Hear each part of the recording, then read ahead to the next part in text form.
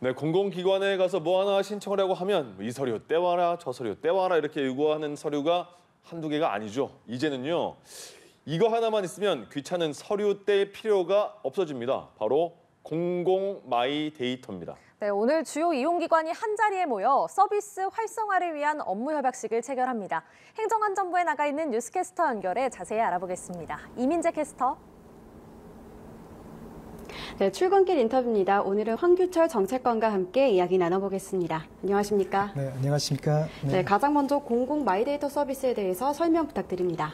네, 공공 마이데이터란 행정 공공기관이 보유하고 있는 개인정보를 정보 주체인 국민이 요구하면 원하는 곳으로 보내주는 서비스입니다.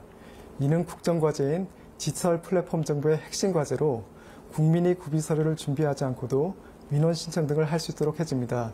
또한 꼭 필요한 항목만 데이터 형태로 제공되기 때문에 개인정보 오남용 문제가 방지될 뿐만 아니라 데이터를 받는 기관에서도 업무 자동화가 가능해집니다.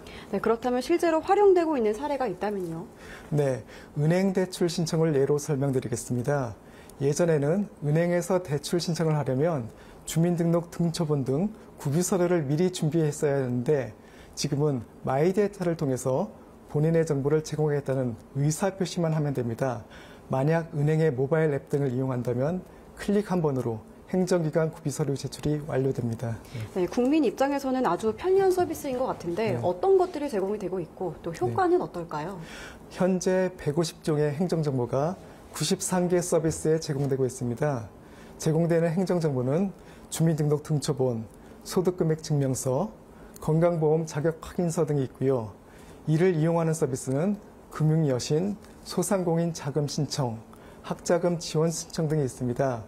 마이데이터 효과로는 현재까지 총 4억 건 이상의 데이터가 제공됨으로써 그만큼 국민의 시간과 비용을 절감했을 뿐만 아니라 은행과 같이 마이데이터를 이용하는 기관에서도 업무 자동화를 통해 생산성을 높이고 있는 것으로 알고 있습니다. 네. 네, 마지막으로 공공 마이데이터 확대를 위해서 어떠한 노력을 하고 계신지와 또 추가되는 서비스가 있다면 말씀해 주시죠. 네.